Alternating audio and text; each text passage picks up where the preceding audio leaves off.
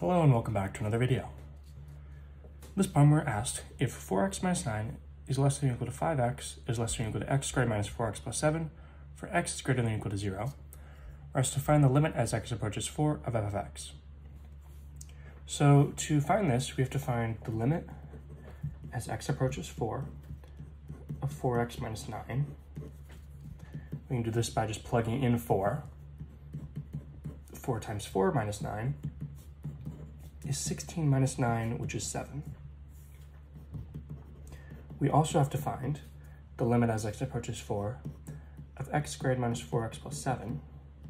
Again, we can just plug in x to be 4 directly. So we have 4 squared minus 4 times 4 plus 7. This is 16 minus 16 plus 7, which is 7. Therefore, since the limit as x approaches 4 of 4x minus 9 is equal to the limit as x approaches 4 of x squared minus 4x plus 7, and the function f of x is between these two functions, 4x is greater than or equal to 0, which means at x is equal to 4 and x is near 4, it's between these two functions. By the squeeze theorem, we can say